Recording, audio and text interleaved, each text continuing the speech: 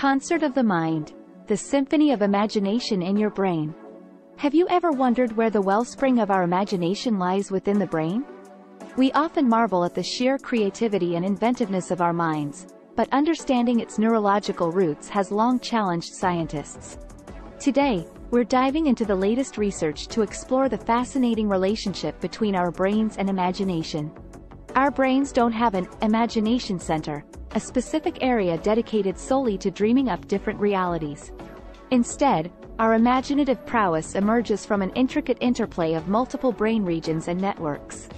Known for its role in memory, the hippocampus goes beyond just helping us remember past events. It helps us conjure images of potential future scenarios too, thereby flexibly using memory to drive imagination.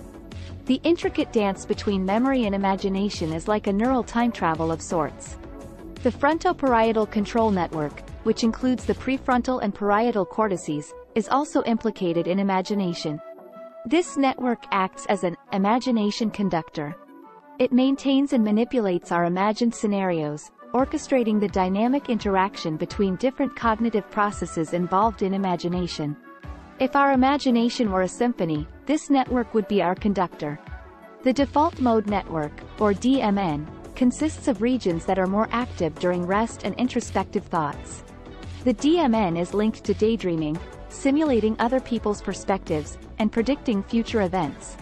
So, when you're staring out the window and dreaming up a new world, it's the DMN that's hard at work. A recent study suggested a core imagination network, or CIN, which comprises key nodes from the hippocampus, frontoparietal network, and DMN. It seems these regions work in tandem, dynamically coupling and decoupling, to support our ability to imagine. Sensorimotor systems also play a role in imagination. When we imagine a scenario, we often mentally simulate the associated sensory and motor experiences.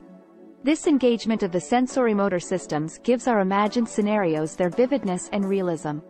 In essence, imagination is a team effort within our brains, a harmonious performance by multiple regions and networks. It's not about a singular, imagination center, but rather a concert of cognitive operations taking center stage. But remember, this is just the beginning. We still have much to learn about how these networks interact over time, how they differ across individuals, and how they change across our lifespan. As we continue to unlock the secrets of the brain, we may just find ourselves a step closer to understanding the profound mystery of human imagination. Remember to like and subscribe for more neuroscience news updates.